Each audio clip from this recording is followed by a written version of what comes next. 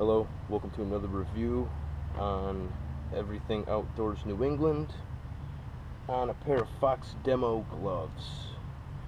Um, not too much to say about these gloves except that they're super comfortable, light, Clarino palm, great grip, embossed logo, um, multiple colorways, and this is a medium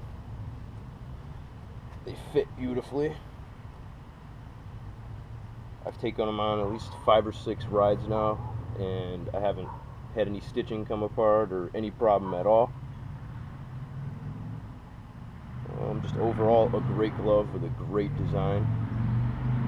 I will be reviewing the jersey and the shorts in upcoming videos.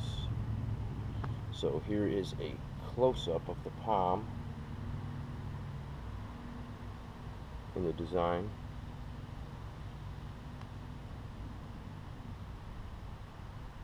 Moisture wicking for wiping sweat off. If you like to have contact and feel with your bars and feel what the bike is doing, it's the way to go. And in another review, I touched on uh, some Azonic gloves that I really like as well and this is the design of the left hand.